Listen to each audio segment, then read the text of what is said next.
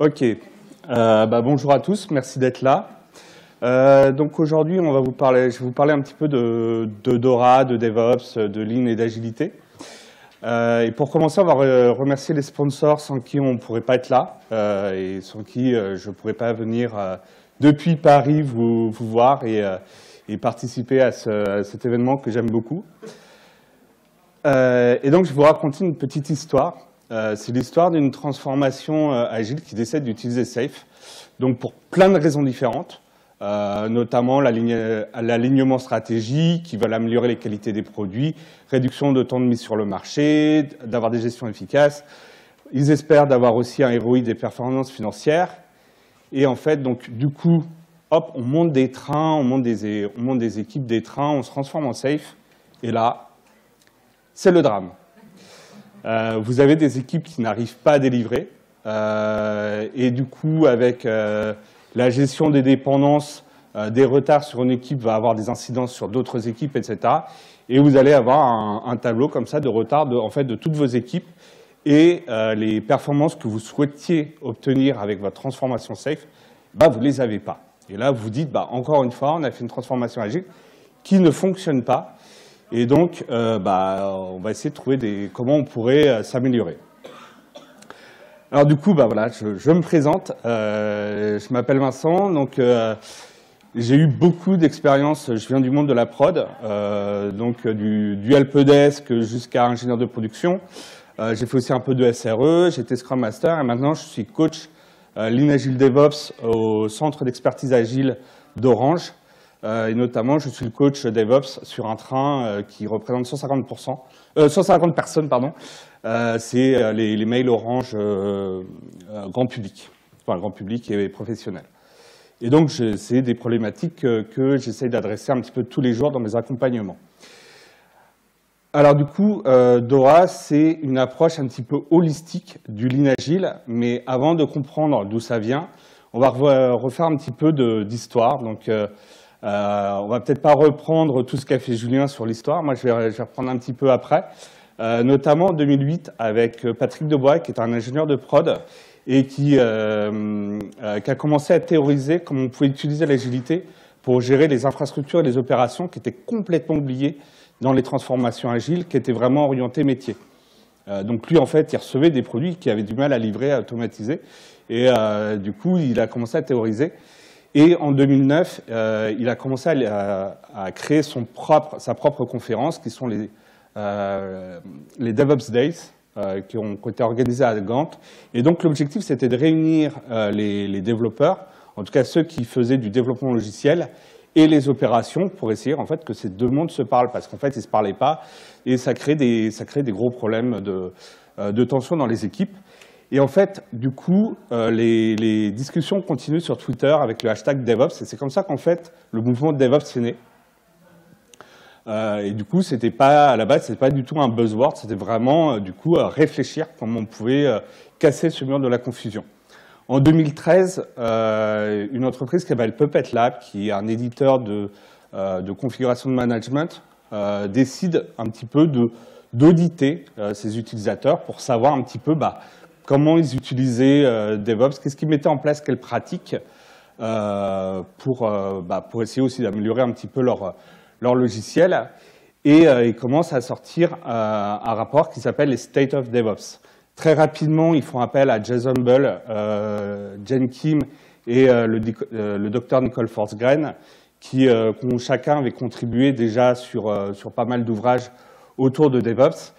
Et ils décident d'avoir une approche un petit peu scientifique des, enquêtes qu'ils vont mener auprès de leurs, leurs utilisateurs enfin auprès de, la communauté DevOps, pour comprendre en fait quels sont les impacts euh, et les, quelles sont les pratiques, les impacts qu'ils peuvent atteindre sur les performances en livraison logicielle. Et donc, ils vont opter euh, pour ça des, démarches scientifiques qu'on va retrouver en sciences molles, euh, via le biais des enquêtes et de trouver des modèles, des, modèles d'impact pour, pour comprendre un petit peu les performances logicielles. Donc ils vont faire certaines découvertes euh, qui vont exposer dès 2016. Euh, mais euh, du coup, par exemple, Martin Fowler va leur dire bah, c'est bien ce que, vous, ce que vous nous dites, mais comme vous ne publiez pas la méthode, ben, quelque part, euh, moi, j'y crois pas. Donc, du coup, c'est ce qu'ils vont faire en 2018. Ils vont publier leur méthode dans le livre qui s'appelle Accelerate la science derrière Lean Software et les DevOps, ce bouquin-là. Donc, ils vont expliquer la méthode et un petit peu leur trouvaille. Euh, donc, le, bouquin est préfacé par Martin Fowler, du coup. Euh, et du coup, bah, ça, va, ça va commencer à mettre en, à faire une émulsion en fait au niveau des, pratiques. Qu'est-ce qu'on peut mettre en place? Qu'est-ce qui va un petit peu marcher dans, les principes d'amélioration continue? Donc, euh, qu'est-ce qu'Accelerate? Alors, Accelerate, c'est un bouquin qui a été publié en 2018, euh, qui a reçu le prix Shingo de l'excellence opérationnelle. Euh, et au moment de la publication, c'était 4 ans de recherche. c'était 23 000 personnes interrogées donc, sur les 4 années. et donc 24 pratiques clés qui ont été découvertes. Ce que n'est pas Accelerate, c'est pas un framework, c'est pas une méthode, c'est pas une recette magique et c'est pas la solution à tous les problèmes IT. Par contre, suite à ça, euh, donc le DORA s'est monté, donc le DevOps Research and Assessment, qui est un institut de recherche euh, qui a été, euh, donc ils l'ont monté en 2016 et il a été racheté par Google Cloud en 2018. donc le DORA, ça va être à la fois le laboratoire de recherche ça va être une étude euh, continue. Donc là, on en est à 9 euh, ans de recherche auprès de 33 000 participants. Parce qu'en fait, chaque année, ils vont lancer une nouvelle enquête, ils vont découvrir de nouvelles choses, et donc ils vont affiner les modèles, euh, modèle d'observation. ça va être des publications régulières. Tous les ans, vous avez un State of, Accelerated State of the Report qui sort. Ils ont fait d'autres publications sur le, retour sur investissement des transformations DevOps. Euh, ils font les DevOps Awards Winners. Donc il y a pas mal de, choses qui sortent de publications. Ils ont un outil de diagnostic, euh, une communauté de pratique et aujourd'hui c'est aussi un framework évolutif euh, qui s'appelle Doracor et dont on va, dont on va parler. Donc c'est quoi la différence entre des modèles d'observation et des modèles de pratique? Dans le livre Accelerate, vous avez un modèle d'observation. Ils ont fait des enquêtes et ils ont trouvé, en fait, bah, ils ont observé des phénomènes et ils ont pu faire des liens d'impact. Notamment, bah, ils ont pu observer, par exemple, qu'avec une gestion lean, on va avoir des impacts sur les performances en livraison logicielle, mais aussi que, du coup, bah, par exemple, la, livraison continue va avoir des impacts sur la culture organisationnelle générative, qu'on va aussi avoir des impacts sur, euh, sur l'identité, c'est-à-dire le, euh, comment on se reconnaît dans l'entreprise pour laquelle on travaille. Bref, tout ça, c'est des choses qu'ils vont observer. Le problème, c'est qu'un modèle d'observation, euh, c'est une observation sur un instant T. Euh, donc du coup, là, c'est le modèle d'observation au moment de l'enquête 2018, Accelerate. Il ne va pas tenir compte des nouvelles découvertes qui ont été faites en 2019, 2020, 2021, 2022 et 2023, parce que du coup, il y, a, il y a encore eu de nouvelles découvertes qui ont, été faites, parce qu'en fait, chaque année, ils vont orienter des questions différemment pour essayer de découvrir en fait euh, d'autres dimensions, en tout cas euh, euh, d'autres perspectives. ils ont par exemple découvert assez récemment que quelque chose qu'on dit couramment qu'il faut faire, le training-based development, peut avoir des impacts négatifs en cas de euh, si les personnes sont assez jeunes au niveau du développement logiciel, ça va plutôt poser problème, alors qu'avec des, euh, seniors, ça va plutôt, euh, plutôt être bénéfique. Ils ont aussi fait d'autres découvertes sur la documentation, etc., qui n'est donc pas dans le livre Accelerate. Donc les modèles d'observation changent en fonction de l'angle d'étude et il devient difficile de corréler et de faire un métamodèle dans lequel on va tout mettre. et puis en plus, les échantillons, donc c'est le groupe de répondants, sont pas stables dans le temps. En fait, quand ils ont commencé bah, c'était une petite communauté, donc en fait, ils avaient souvent des réponses de gens qui étaient assez, on va dire, euh, assez seniors dans leur rôle. Aujourd'hui, bah, avec le, succès qu'a Accelerate, ils ont des gens qui sont beaucoup plus juniors et donc les résultats sont beaucoup plus nuancés. Euh, et donc ça devient assez compliqué de prendre les modèles d'observation et de dire bah, c'est comme ça qu'il faut faire. Donc comment il faut passer d'une approche scientifique à l'approche de praticien? Bah, Le DORA s'est dit on va faire un petit peu comme l'OMS qui, l'OMS, va utiliser les, études de recherche euh, médicale pour en faire ensuite des pratiques de médecine. Donc eux, bah, ils ont dit on va faire un petit peu près la même démarche et d'avoir euh, quelque chose qui va être plus un outil pour les praticiens. Et donc, ils ont développé l'année dernière le modèle qu'ils appellent DoraCore.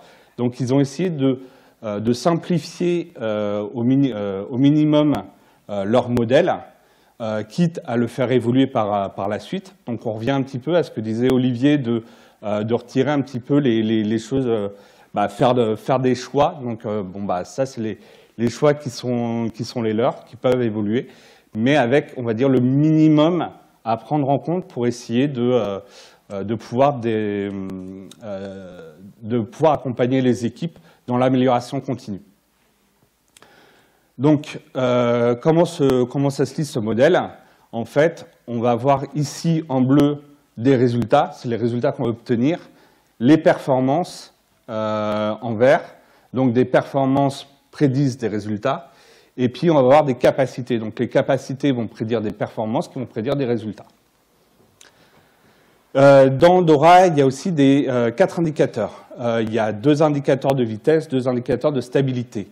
Euh, Dora mesure les performances en livraison logicielle et donc on va retrouver dans les indicateurs de vitesse euh, le délai de, modification, donc le délai de livraison des modifications, donc c'est combien de temps une fois que j'ai, on va dire, fini le travail de dev qu'on a comité sur la branche principale et que du coup, bah, ce, code qui a été validé sur la branche principale se retrouve en production. La fréquence de déploiement, donc c'est euh, combien de temps euh, bah, tous les combien de temps je vais pouvoir déployer du code. Euh, et dans les euh, indicateurs de stabilité, on a le temps de récupération après un déploiement échoué. Alors l'indicateur a un peu changé. il y a encore quelques temps, c'était le mean time to repair, qui était plutôt un indicateur, on va dire, opérationnel.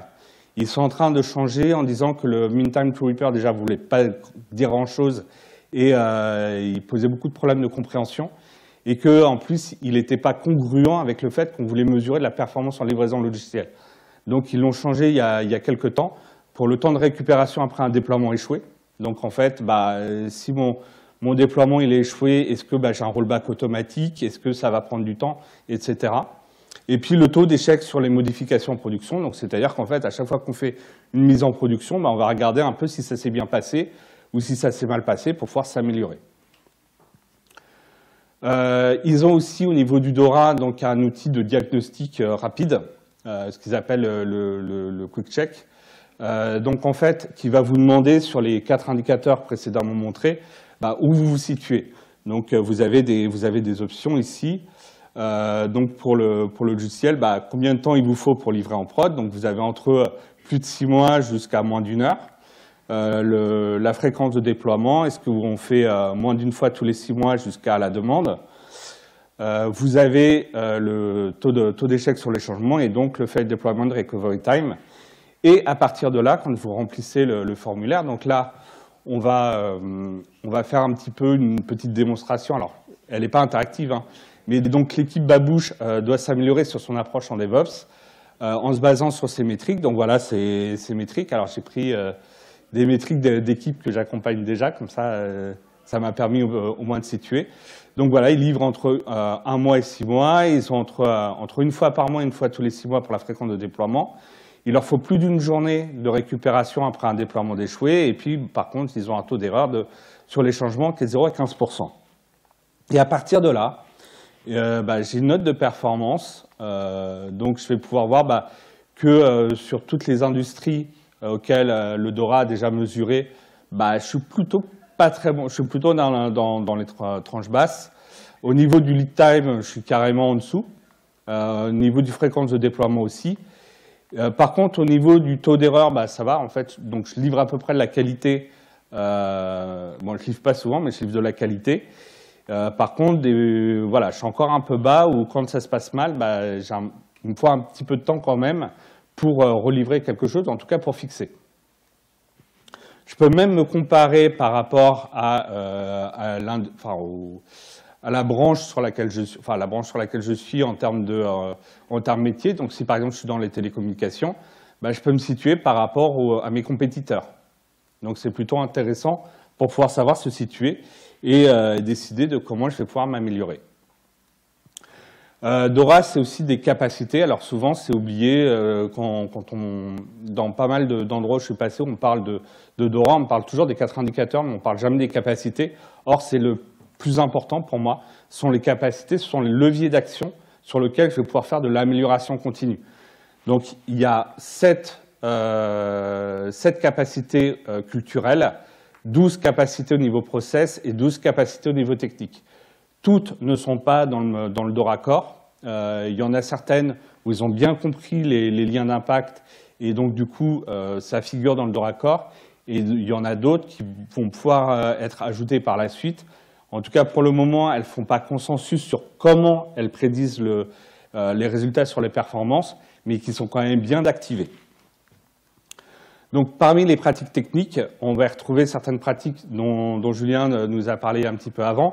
Mais on va avoir donc la maintenabilité du code euh, pour pouvoir bah, débugger rapidement, l'intégration euh, continue et le déploiement automatisé, euh, la gestion des changements en base de données, parce que souvent, bah, dans, certaines, entreprises, quand c'est mal, mal, géré, en fait, vous êtes obligé de faire des coupures de services pour pouvoir gérer vos changements en base de données. Là, l'objectif, c'est quand même de pouvoir livrer plus rapidement, plus efficacement, et donc de bien gérer ça.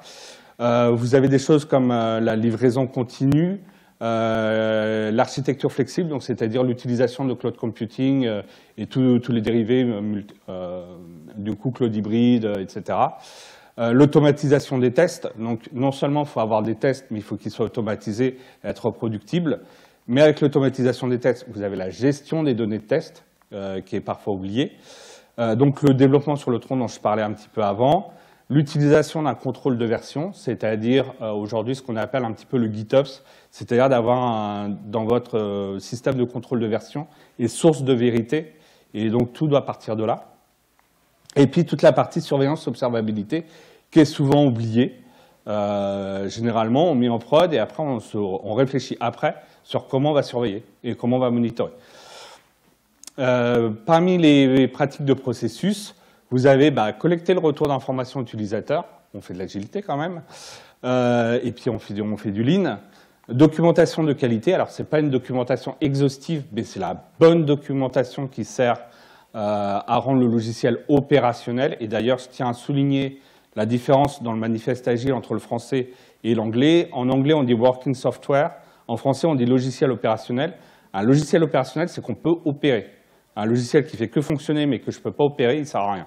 Parce qu'arriver en prod, bah, si j'ai un bug de prod, je peux pas le, ça va être compliqué et je vais avoir des forts impacts utilisateurs et des utilisateurs qui peuvent se barrer.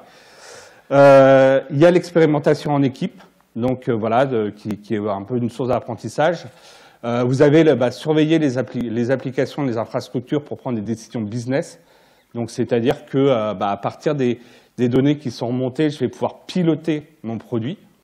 Notification proactive sur des échecs, bon bah ça c'est le on va dire le monitoring de base et l'alerting. Approbation du changement allégé, c'est-à-dire plus passer par des, euh, des, processus qui sont un peu longs. Vous avez fini de, faire votre développement, vous devez passer par un organisme qui va valider le truc et qui, du coup, vous avez fini votre développement lundi. Euh, le, le, CAB, donc le comité d'approbation des changements, se réunit le vendredi, vous perdez une semaine. Et en plus, du coup, pour donner une date de livraison pour le jeudi d'après, vous avez perdu quasiment deux semaines. Donc là, le processus d'approbation allégé des changements, c'est d'essayer de faire en sorte qu'on puisse livrer plus fréquemment. Vous avez la sécurité pensée en amont, c'est-à-dire qu'en fait, la sécurité, si vous la pensez après, vous avez fini de développer votre logiciel, vous passez les trucs de sécurité, ça ne passe pas, bah, du coup, vous avez tout à refaire. Euh, la limitation de l'encours, donc là, on retrouve les principes Lean. Euh, l'architecture faiblement couplée, donc euh, on en a déjà parlé ce matin, mais euh, c'est tout ce qui va être autour aujourd'hui bah, des, réflexions autour de team topologies, le domain-driven euh, euh, design, etc. Le, découpage de travail en kilos, bah, c'est aujourd'hui tout ce qu'on fait un petit peu en, normalement en agilité. On essaye d'avoir des, des, US stories qui sont suffisamment petites pour être travaillées rapidement, même s'il y a encore beaucoup d'équipes qui, qui n'y arrivent pas. Le management visuel, alors ce n'est pas que Jira, c'est vraiment d'avoir euh, tous ces, tous ces process qui soient visibles en un seul coup d'œil et qui soient facilement euh, euh, bah, compréhensibles par tous. Et puis la visibilité du travail dans le flux de valeur, et c'est d'essayer de, ne pas avoir de travail caché. Enfin, il y a les pratiques culturelles. Donc, il y a la culture organisationnelle générative. Donc là, ça reprend des, théories de Ronald Westrum euh, sur les différents types de, euh, types de topologies euh, d'entreprise, de, culture d'entreprise. Vous avez la culture pathologique, c'est celle un petit peu de la culture de petit chef où règne la peur, etc. donc un petit peu comme le, côté on est à l'armée, enfin à l'armée côté troufion, etc. Parce qu'il y, y, a des côtés de l'armée qui sont un peu plus génératives les opérations spéciales dont, euh, l'agilité s'est aussi inspirée. Euh, mais là, c'est plutôt le côté, euh, côté troufion. le renforcement des, équipes, des équipes de livraison logicielle par les responsables métiers. Donc en fait, c'est que les responsables métiers comprennent bien en fait qu'il va falloir investir du temps, de l'argent pour pour mettre en place des bonnes pratiques de livraison logicielle, ce qui n'est pas forcément évident parce que beaucoup de managers ne voient pas ce côté-là. Ils disent qu'il faut livrer plus vite, mais sans donner les moyens. Euh, la culture de l'apprentissage, et ça, ça va répondre à une question qui a été posée à Julien tout à l'heure, comment on fait en sorte que euh, des, euh, des, gens qui sont plutôt des, qui, des codeurs à les transformer en, en software engineer, bah, c'est aussi par l'apprentissage et la formation continue. c'est comment savoir se transformer, donc là c'est tout l'aspect transformation. Il y a la satisfaction au travail, donc mesurer le bien-être des gens et voir s'ils sont satisfaits au travail. Il y a bah, tout l'aspect du, bien-être, donc c'est la réduction des burn-out, réduction du burn-out, euh, faire attention en fait à la, euh, euh, QVCT, qualité de vie, conditions de travail. Et puis il y a toute la partie leadership, transformer le leadership pour plus qu'il soit transactionnel, c'est-à-dire le, le leadership qui vous dit quoi faire, mais transformationnel, c'est-à-dire le leadership qui aide à faire monter en compétence ses collaborateurs. Donc, euh, quels sont les liens du coup entre, le, entre Dora, le Lean et, euh, Agile? Donc, euh, j'ai référencé un peu bah, toutes, les, pratiques que je vous ai dit et voir un petit peu bah, quels sont les liens. Donc, par exemple, la maintenabilité du code, bah, en fait, ça, rejoint le côté simplicité, l'art de minimiser le, la quantité de travail non fait, et puis la, perfection, poursuivre l'amélioration continue dans les principes. Pour le continuous delivery, bah, du coup, la livraison continue de logiciels utiles et la livraison juste à temps en principe. Euh, alors après, on a des choses qui ne sont pas forcément euh, ni dans le manifeste agile ni dans les principes mais du coup, le changement en base de données, c'est quelque chose aussi qui va, aussi, qui est plus Lean, la qualité intégrée, qui n'est pas forcément quelque chose dans le manifeste agile, parce que le manifeste agile est moins technique, mais du coup, on se base quand même sur, le, bah, voilà, sur euh, tout, le côté un petit peu technique.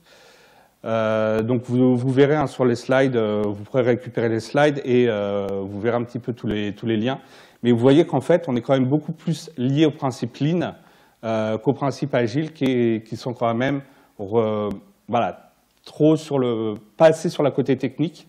Et donc là, bah, on ramène des choses qui sont vraiment plus de l'ordre de la technique, en tout cas pour les, bah, sur, la, partie technique. Sur la partie processus, c'est pareil, on hérite pas mal de choses qui viennent du Lean. Euh, notamment bon, bah, l'orientation client, bah, on l'a aussi en agilité. Euh, voici, on a l'élimination du gaspillage, on pourra avoir la simplicité, mais du coup, euh, le, côté architecture, effectivement, n'apparaît pas. les agilistes, ils y, pigent, ils y pigent rien, et en fait, ça les intéresse même pas. Donc, c'est aussi de réexpliquer. Non, mais c'est vrai, quand, des fois, on a besoin de faire des arbitrages sur comment on va essayer de, de refaire, c'est assez compliqué à leur expliquer qu'en fait, bah, il va falloir redécouper, donc leur expliquer la pratique technique parce que souvent ils n'ont pas la culture. Et donc il faut, euh, bah, aujourd'hui on a, heureusement on commence à avoir des trucs comme Team Topologies ou OneFix qui nous permettent de, nous adresser à certains collègues qui n'ont pas cette culture pour voir un petit peu refaire du domain driven design. Euh, ces, frameworks sont assez intéressants pour, euh, y revenir et et les, embarquer avec nous. Il y a toute la partie bah, monitoring, euh, notification, etc., qui est souvent aussi pas adressée par des gens bah, qui ne comprennent pas en fait la partie technique, euh, mais qui sont en fait, euh, bah, c'est des processus, et en fait, en changeant les processus, on peut changer la culture. donc voilà, je vous ai, on va passer aux pratiques culturelles. Donc là, les pratiques culturelles, Donc là, la partie organisationnelle générative, organisationnelle culture, organisationnelle générative, on est dans le respect des, personnes.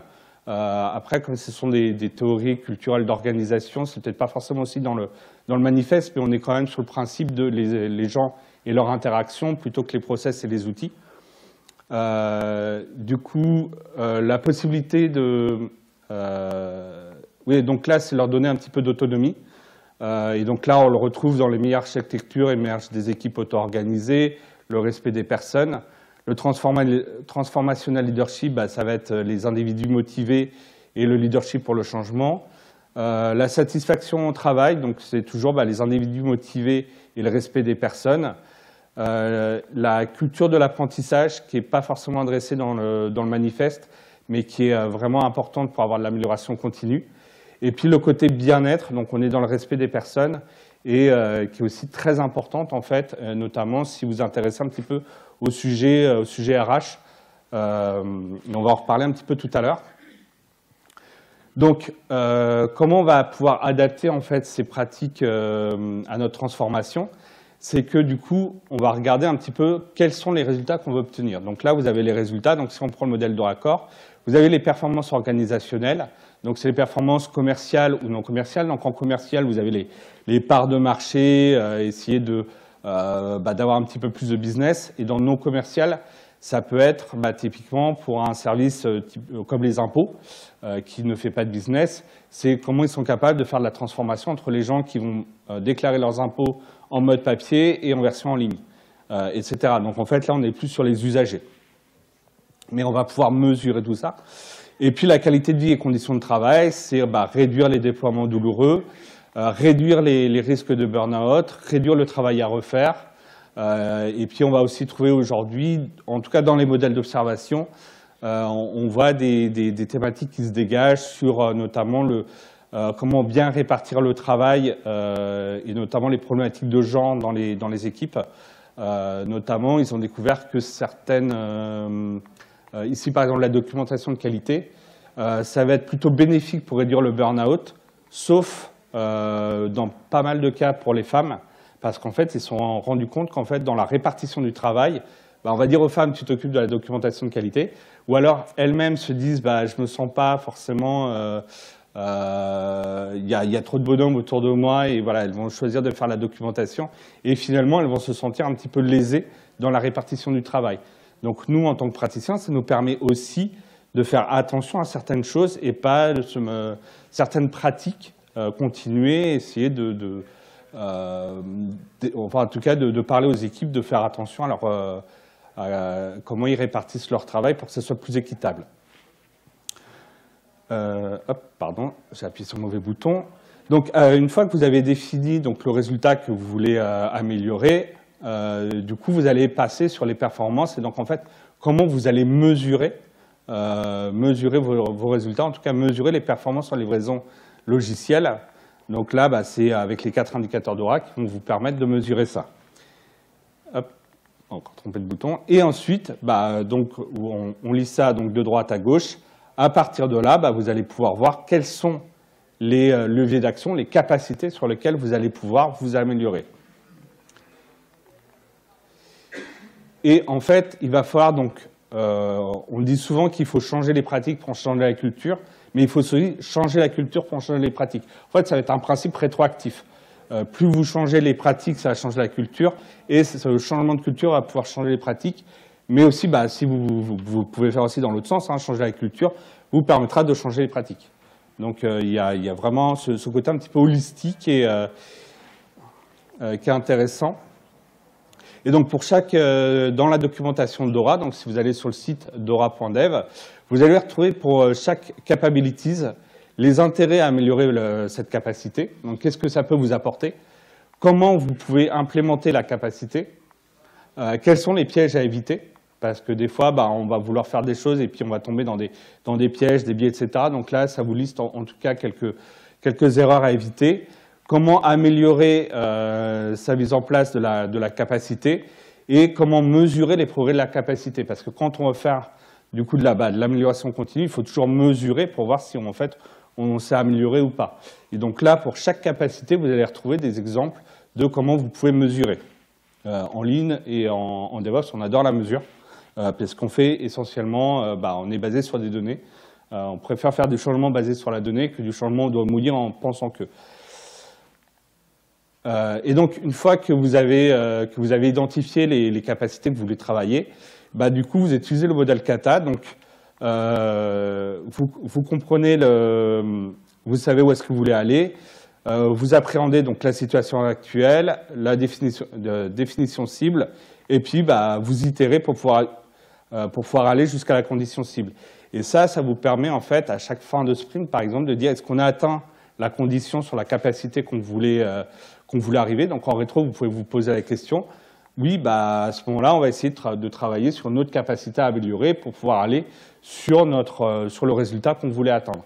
Et si jamais il y a des changements, bah, du coup, vous pouvez dire euh, au, bout d'un, sur une rétro, bah, écoute, là, il y a, il y, a, quelque chose d'autre sur lequel on veut s'améliorer, donc hop, vous changez de capacité et vous adaptez en fait euh, continuellement pour progresser vers de l'amélioration continue.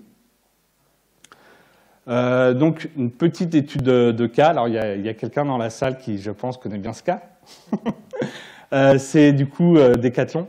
donc, ils ont reçu le, prix S'aligner pour accélérer donc, dans les DevOps Awards 2022. Donc, Decathlon Digital. Donc, bah, contexte, je pense que vous connaissez tous Decathlon. C'est quand même une grosse boîte, présence dans 70 pays. Euh, ils ont plusieurs milliers de magasins. Et euh, donc, ce que dit euh, le, témoignage de, Mathieu, qui est coach agile chez Decathlon, c'est qu'ils avaient déjà un premier succès dans l'utilisation du cloud, dans, dans, la mise en place de pratiques agiles. Et en fait, ils avaient besoin d'amélioration et surtout sur, en mettant l'accent sur le bien-être et la sécurité psychologique. Donc là, leur résultat qu'ils ont choisi est un résultat plutôt orienté RH, euh, plutôt que d'un résultat sur les performances de l'entreprise. Euh, et donc, en fait, euh, ils sont inspirés du, rapport Accelerate State of DevOps. et donc, ils ont adopté des pratiques DevOps pour améliorer la vitesse, l'efficacité, la qualité de production.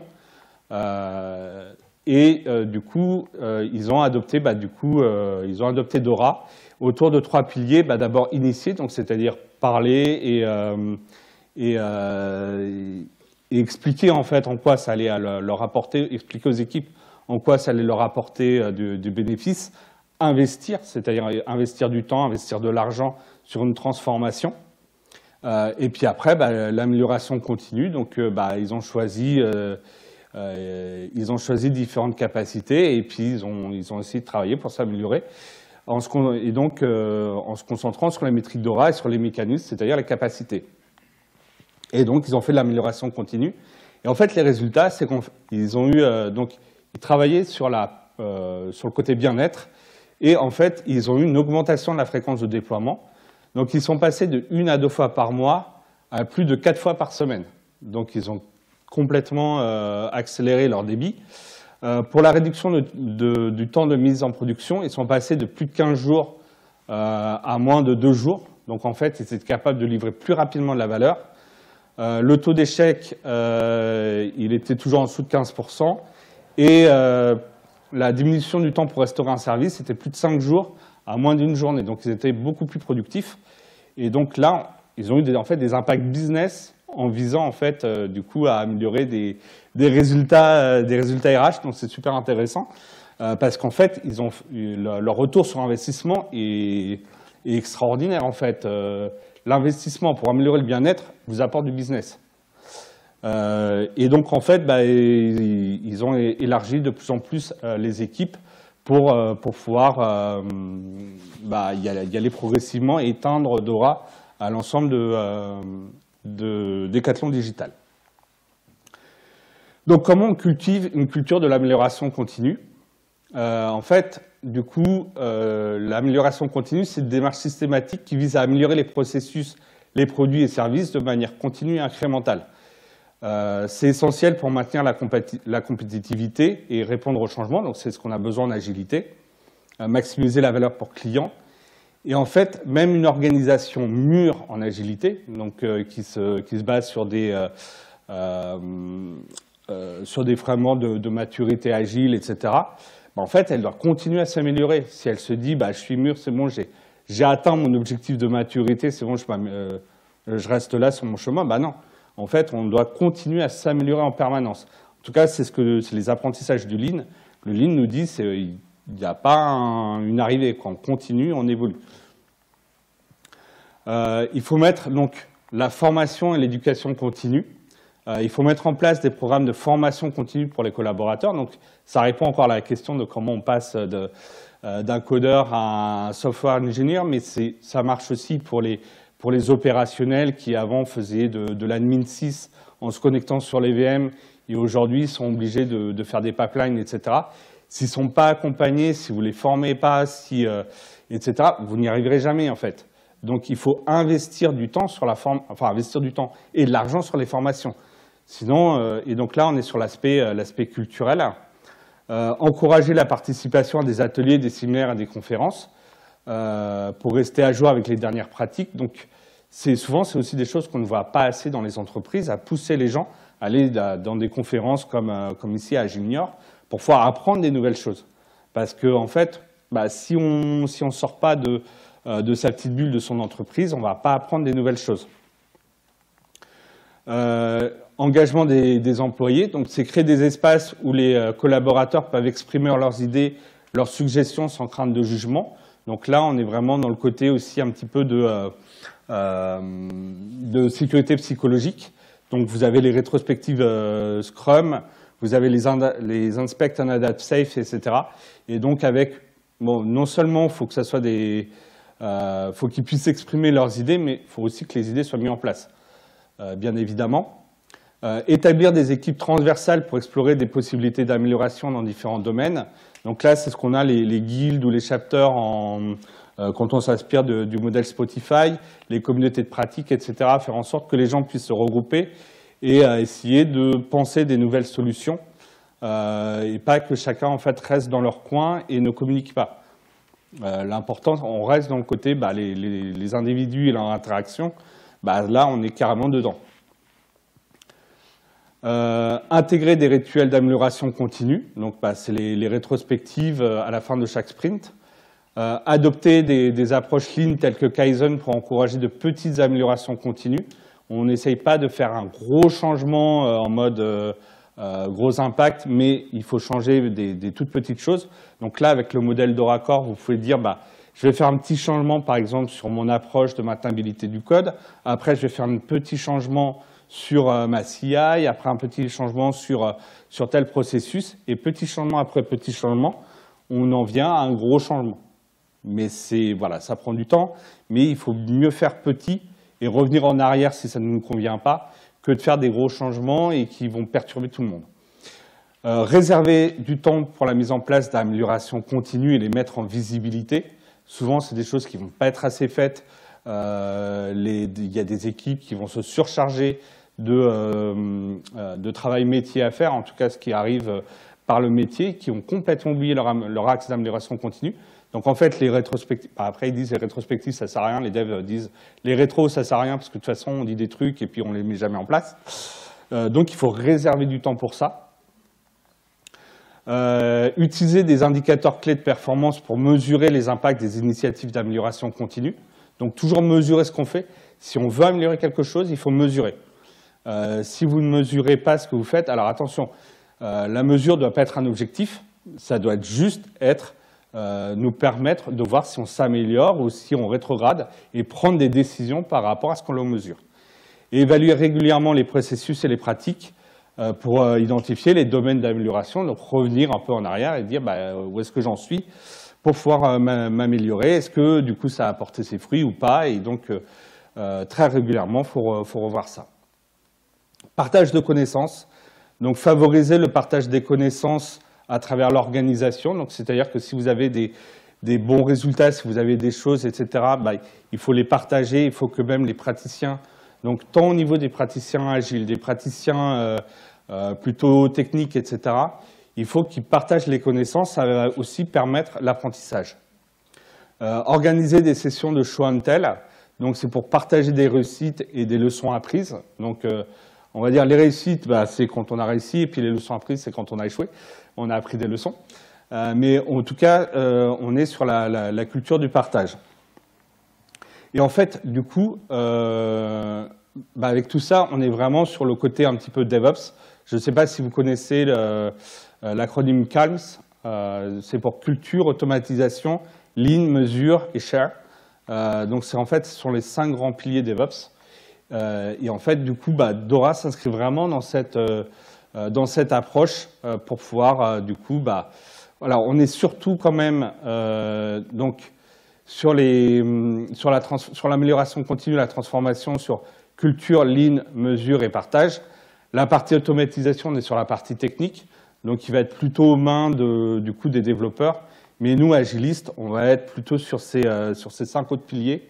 Et on a vraiment, en fait, euh, on peut vraiment s'inscrire dans une démarche DevOps euh, si on, suit vraiment ces, les, quatre autres piliers. et donc voilà, je vous encourage vraiment à le faire. donc voilà, l'amélioration continue, c'est un voyage sans fin. donc qui requiert l'engagement de tous les membres de l'organisation. Donc c'est pas que les techs, c'est pas que les euh, le Scrum Master, etc. Mais ça va être aussi les managers. Il faut que les managers soient, euh, soient engagés aussi, puisque notamment pour toute la partie formation, bah, ça, va compter sur eux.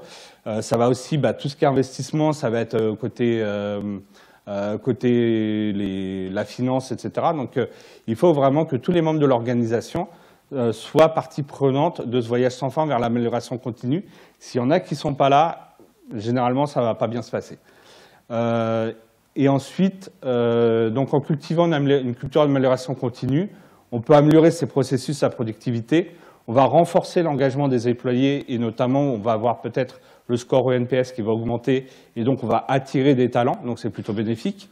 On va favoriser un, environnement de travail dynamique et innovant qui vont nous permettre peut-être de prendre des marchés sur nos, sur nos concurrents. Euh, et donc, on va pouvoir faire du business et donc il y a un retour sur investissement qui est très intéressant. Donc, euh, au niveau des, euh, donc des, conclusions, donc moi, c'est une approche que j'essaie beaucoup de mettre en place en tant que coach euh, Lean Agile DevOps.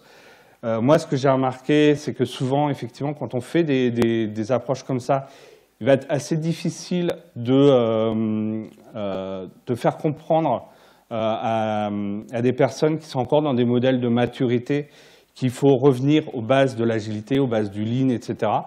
Donc il faut déconstruire euh, certains des discours qui ont été, été, euh, euh, appris.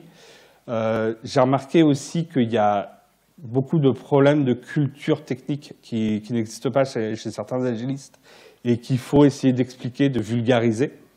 mais je vous, je, vous je vous amène vraiment à regarder un petit peu ce que propose, ce que propose le DORA. C'est vraiment très intéressant de commencer à mettre en place et voilà, d'y aller vraiment petit à petit. Euh, donc il y a beaucoup de choses encore qui sont à faire, beaucoup d'équipes qui ne sont pas encore mûres. Euh, donc c'est des fois un peu compliqué, notamment moi je sais que j'ai des difficultés à mettre en place, notamment certains indicateurs, parce que j'ai des équipes qui ne savent pas découper, euh, qui ne savent pas écrire des, des US stories, qui ne savent pas découper. Donc il faut revenir aussi aux bases de l'agilité, faire comprendre aux équipes quels sont leurs avantages d'y revenir pour mesurer pour mesurer leur axe de progression, parce qu'en fait, elles ont des fois bah, pas le sens quand il n'y a pas eu de formation. Euh, et donc, bah, voilà, de, reprendre ces modèles un petit peu holistiques, de comprendre que tout est lié pour pouvoir amener en fait la, des meilleures performances dans vos, équipes et dans vos organisations en se basant sur Dora. Alors c'est complètement compatible avec Safe, avec tous les frameworks que vous voulez de, transformation agile. Là, c'est juste bah, comment euh, juste de l'amélioration continue. Euh, je vous ai mis euh, du coup bah, le, site du Dora, si, vous voulez aller voir. Dora a une communauté qui se regroupe toutes les, toutes les semaines. Il y a des discussions autour de certains sujets. Alors c'est en anglais, hein, mais du coup ils font souvent du, du Lean Coffee. Donc c'est super intéressant. Euh, ils ont une chaîne YouTube sur laquelle on va revoir euh, certaines des vidéos avec... Euh, donc, avant le Lean Coffee, il y a 10 minutes de présentation d'un sujet. Donc sur la chaîne YouTube, vous pouvez revoir un peu toutes les présentations des sujets. Et voilà, on est sur la partie questions-réponses si on a Merci du temps. Merci beaucoup.